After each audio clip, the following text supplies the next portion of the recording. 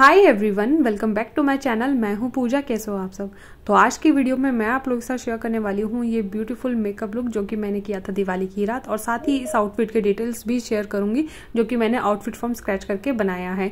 तो अगर वीडियो पसंद आ जाए तो मेरे चैनल को सब्सक्राइब कर लीजिएगा वीडियो को लाइक करना और कमेंट सेक्शन में ज़रूर बताना कि आपको ये ओवरऑल लुक कैसा लगा।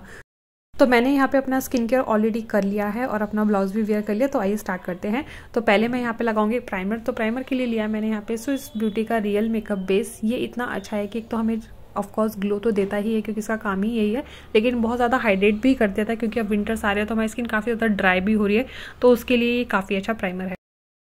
इसके बाद लिया है मैंने इनसाइड कॉस्मेटिक का एच डी प्रो कंसीलर ये काफ़ी अच्छा कवरेज हमें दे देता है। इसको मैं वहाँ अप्लाई करूँगी जहाँ जहाँ मुझे डार्क सकल है या फिर पिगमेंटेशन की प्रॉब्लम है।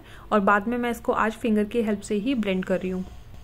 तो बात करते हैं इस आउटफिट के फ़र्स्ट पार्ट की जो कि है ब्लाउज पार्ट तो ये जो ब्लाउज है इसका मैंने कपड़ा लिया था सिर्फ़ एक मीटर गांधीनगर मार्केट से। आपको याद होगा कि मैंने पहले भी शेयर किया था वीडियोस में तीज वाली वीडियो में। तो उसी टाइम मैंने लिया था मार्च में तो ये काफ़ी टाइम से रखा हुआ था। इसको ऑनलाइन भी मैंने देखा काफ़ी सारे लहंगे सूट वगैरह इसमें आपने देखा होगा कि काफ़ी ज़्यादा ट्रेंड करे तो मैंने सोचा कि इसका मैं ब्लाउज स्टिच करवाऊँगी। जब मैंने देखा तो, तो मुझे ये कपड़ा बहुत अच्छा लगा। बहुत ही ज़्यादा सॉफ्ट जॉर्जेट में है और उसमें सेल्फ डिज़ाइन और साथ ही मिरर्स भी लगे तो मैंने इसको फाइनली इसको इस बार दिवाली के लिए स्टिच करवा लिया। तो इस तरीके से मैंने अपने टेलर को समझाया और उन्होंने इतने अच्छे तरीके से इसको स्टिच कर दिया।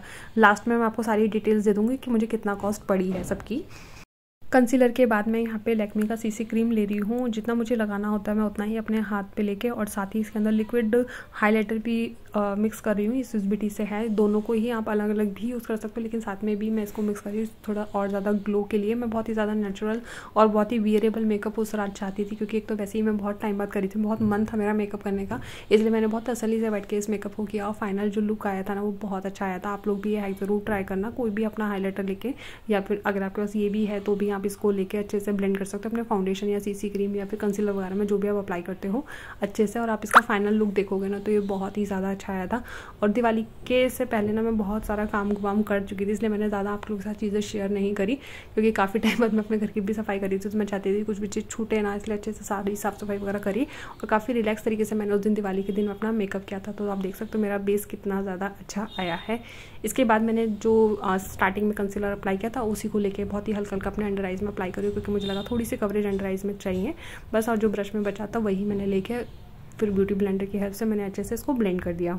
इसके बाद मैं अपने बेस को सेट कर लूँगी नायका के कॉम्पैक्ट से। ये कॉम्पैक्ट जो जैसे ही आया था वैसे ही टूट गया, इसलिए इसको मैंने दूसरे कंटेनर में शिफ्ट कर लिया है। तो जहाँ जहाँ भी क्रीज हो सकती है, वहाँ मैं इसको अच्छे से अप्लाई कर लूँगी अपने अंडर आइज़ में, अपने आईलेट्स के ऊपर, अपने माउथ के अराउंड तो आप लोगों को याद होगा, मैंने इंस्टाग्राम पे भी और यूट्यूब पे भी आप लोगों के साथ एक रील शेयर करी थी, एक से दो बार, जिसमें मैंने पर्पल कलर की साड़ी पहनी है। वो मैंने चांदनी चौक से ली थी, बिल्कुल रॉ फैब्रिक लिया था, उसके बाद मैंने उसमें फिनिश करवा ली और दो से तीन बार मैंने उस साड़ी को पहना है। अगर आप लोगों को याद है तो कमेंट सेक्शन में ज़रूर बताना।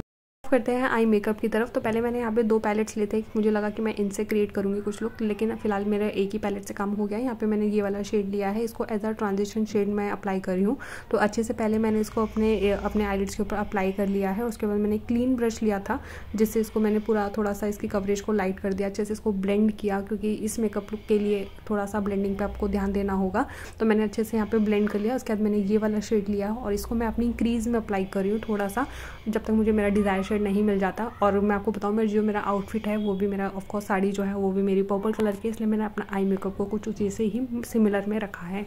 तो अच्छे से मैंने यहाँ पर अपनी क्रीज में भी अप्लाई कर लिया है। इसके बाद मैं डार्कर शेड ले रही हूँ और इसको मैं पूरे अपने आईलिड्स पे अप्लाई करूँगी। अच्छे से अप्लाई करने के बाद इसका पिगमेंटेशन पर्टिकुलर इस शेड का बहुत ही ज़्यादा अच्छा था। तो अच्छे से मैंने फिर से क्लीन ब्रश लिया और अच्छे से पूरे अपने आईलिड्स के ऊपर मैं इसी को ब्लेंड कर रही हूँ। इसके बाद मैंने ये वाला पैलेट लिया और इसमें से ना कि पर्पल टोन का शिमर शेड है। तो जस्ट इसको मैं अपने आईलिड्स के ऊपर अच्छे से अप्लाई कर रही हूँ।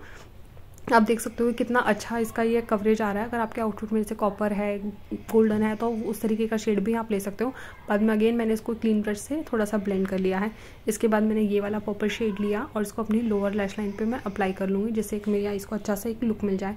आज के लुक के लिए मैं कोई भी लाइनर अप्लाई नहीं कर रही हूँ। तो बस इतना ही मेरा मेकअप था। इसके बाद मैंने यहाँ से थोड़ा सा गोल्डन शेड लिया है क्योंकि उस वाले पैलेट में नहीं था।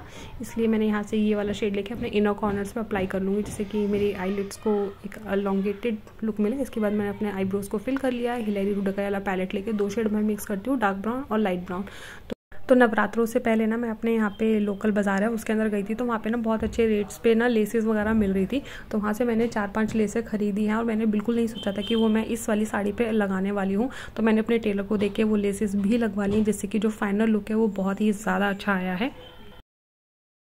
मेकअप हमारा ऑलमोस्ट हो गया है तो आई को कर्ल कर लेते हैं और उसके बाद मैं लगाऊँगी मस्कारा तो मस्कारा के लिए लिया है मैंने मेबलिन का हाइपर कल मस्कारा ये वॉशेबल मस्कारा है, मैं मस्कारा की उतनी फ़ैन नहीं हूँ क्योंकि मुझे नहीं पसंद आता उतना ज़्यादा तो फिर भी लगाना तो ज़रूरी है आई मेकअप के लिए, इसलिए मैं फॉल्सेस वगैरह नहीं लगाती, लेकिन अगर आपको पसंद है तो डेफिनेटली आप लगा सकते हो। तो इस वाले मस्कारा के दो से तीन कोट लगाओगे तो आपके आई में काफ़ी अच्छा डिफरेंस आपको देखने को मिलेगा।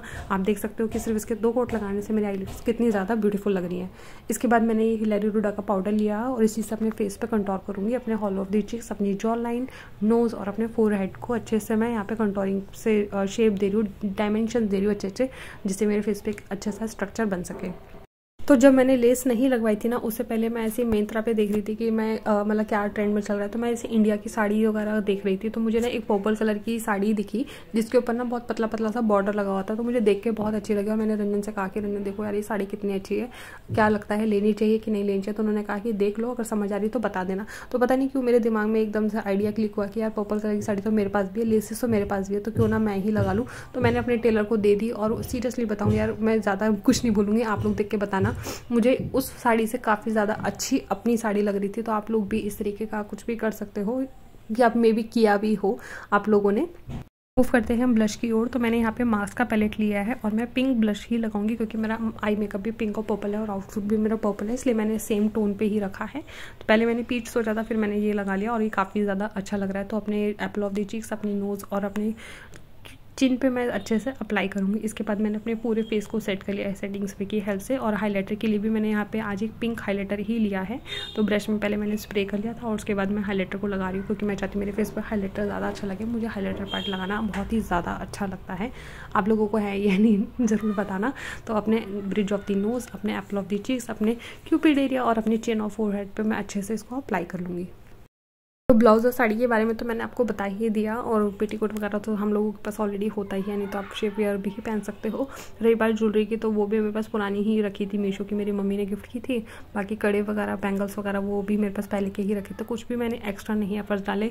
और जो फ्लाट्स लगाए थे, वो भी आप लोगों को पता है, मैंने सदर वाले ब्लॉग में आपके साथ शेयर किए थे तो सब कुछ मतलब सब कुछ खुद से ही हो गया।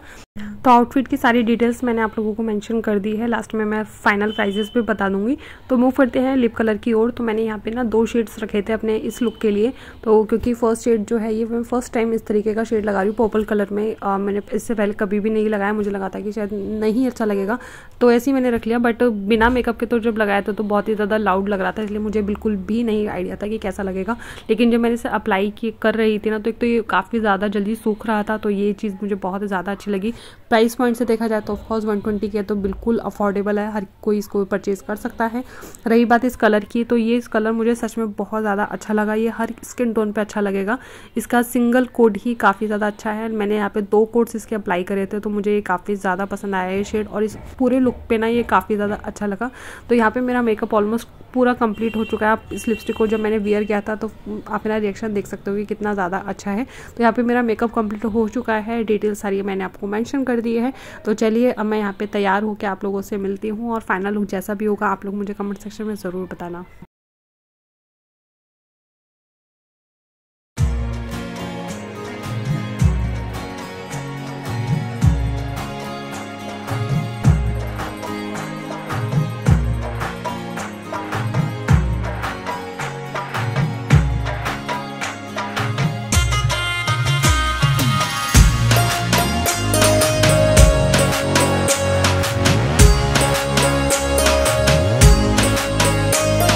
ओके फ्रेंड्स तो ये है मेरा फाइनल मेकअप लुक और मेरे आउटफिट तो कैसा लगा आप लोगों को? ज़रूर मुझे कमेंट सेक्शन में बताना. सारी डिटेल्स मैंने वीडियो में मेंशन कर दी है. थोड़ा सा भी पसंद आए तो लाइक करना शेयर करना और अभी तक सब्सक्राइब नहीं किया तो क्या कर रहे हो यार? जल्दी से सब्सक्राइब कर लो. कुछ भी रिक्रिएट करते हो तो इंस्टाग्राम पर ज़रूर टैग करना. मेरा इंस्टा चेंज एक्सप्रेस मिलती हूँ नेक्स्ट वीडियो में. जब तक के लिए बाय बाय